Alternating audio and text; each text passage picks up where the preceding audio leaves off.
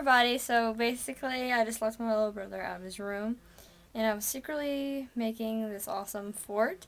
And I'm going to show you a little bit right now before he comes in and sees it. This is the top of the fort. It's I don't know if you can see how massive it is. It's it's all over. I literally have covered the entire room, the top of his room. Yes.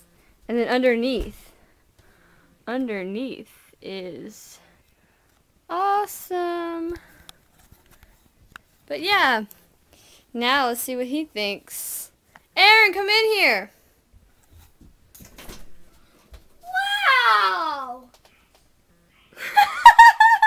Isn't this awesome? Yeah! And don't forget to like this if you liked it, comment below, and of course you can like the Facebook page, follow me on Twitter and Tumblr, and subscribe here on YouTube. Yeah! Woo! So as always, I'm Renee Marco and I'm out.